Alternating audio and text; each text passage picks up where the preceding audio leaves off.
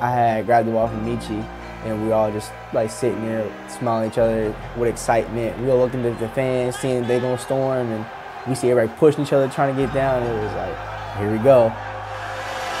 Horn sounds, and you can put Spurs on this one. A 79-62 win for the Gamecocks. Like I said, you won't keep them off the floor tonight. The students come rushing onto the court, and South Carolina celebrates the victory. I won two state championships in high school, but a court storm, no.